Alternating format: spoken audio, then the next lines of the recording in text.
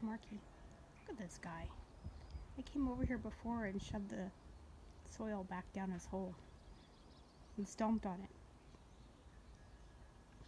And obviously, he just got back to work. Oh, here he comes again. He must not know I'm back here. Behind, kind of behind him.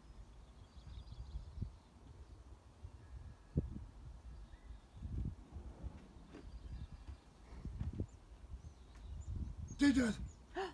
Hey, Mark. Did that. Mark, you want some Cheetos? Look at this pocket gopher down here.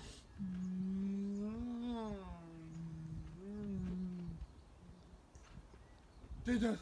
All right, buddy, just a minute. Boy, that guy is big too. He's bigger than I thought he would be. All right, I think he's probably gone now because of Mark.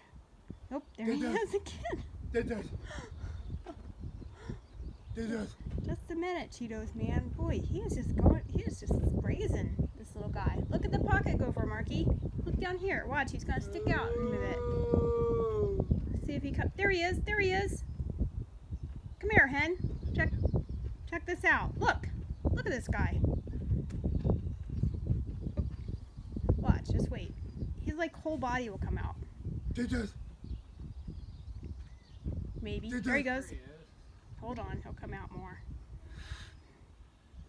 That's the ground squirrel. No, this is a pocket gopher. Did that. Pocket gopher.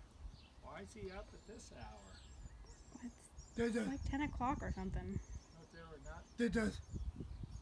Um, Did that. I think there's too much activity now. He's got Did that- scared. Did you see the owls? No, I haven't. did that. I haven't really looked for him. Mark, give me a sec. I was just planting sunflowers. All right, I think that's that's enough for that. That's enough pocket gopher for today.